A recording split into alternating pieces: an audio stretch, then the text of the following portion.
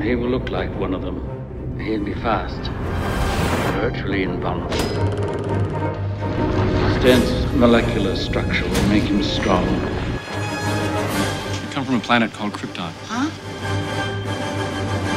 Why are you here? I'm here to fight for truth and justice in the American way.